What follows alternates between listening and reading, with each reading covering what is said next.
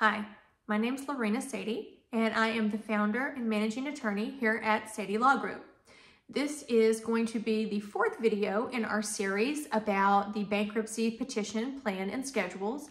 I'm just trying to explain a little bit more detail for consumers about a, a bankruptcy petition and how the different sections work together. So today we're going to talk about Schedule D. And Schedule D is where we are going to list all of your secured creditors.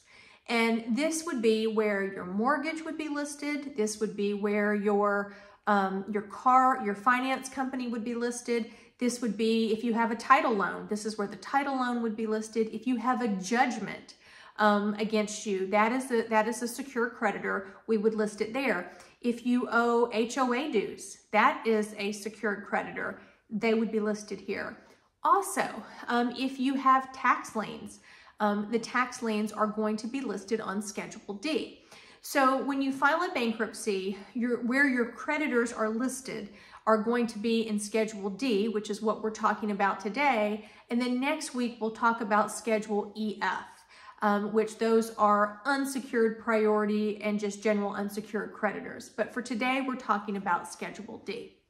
So when we when we're when you're filing a bankruptcy petition, um, you are going to list, um, you know, you're going to list schedule in A, B. These are your assets. So you're going to list all these assets. Now, you list a home. Well, if your home has a mortgage on it, has, you know, has a tax lien on it, property a tax lien, or it has um, an HOA lien on it, if any of those apply, then on Schedule D is where you're going to list it.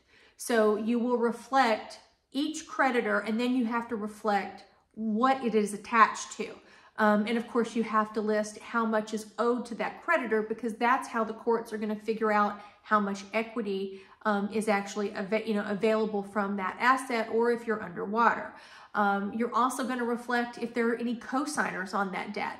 So, you know, if you have a, a co-debtor or co-signer on, on a debt, it needs to be listed um, you need to reflect that there, you know, there's a joint account holder. So that information is going to be um, on Schedule D. Also, if you are financing a car, the car should be listed on Schedule A, B, and then on Schedule D is where you're going to list the finance company and the details, the details of your uh, of your loan, um, how much is owed when you when you took out the loan, whatnot. So that's where it's going to be listed.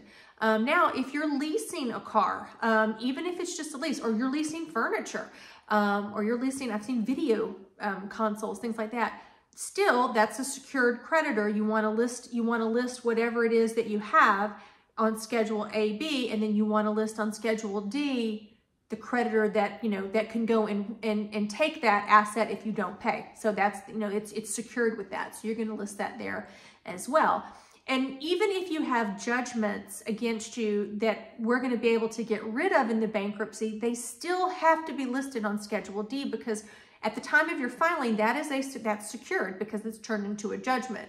Um, so that would need to also be listed on Schedule D. If you owe taxes, you need to make sure that the tax liens are also listed there. Um, and, you know, tax liens can be kind of tricky and you need to make sure that you review this with your bankruptcy attorney. Um, how are your tax liens going to be treated? Are you going to be able to actually remove them with the bankruptcy or will there be some balance due? Are they still attaching to some of your assets? And again, that is something that, you know, your bankruptcy attorney would need to sit down with you and help you determine, you know, what kind of liability you'll, you know, you'll have on those. Um, but that's really it today for Schedule D. Um, you know, it's just one thing, secured, secured claims, but it is very important and you need to make sure it is 100% correct when you file your bankruptcy petition.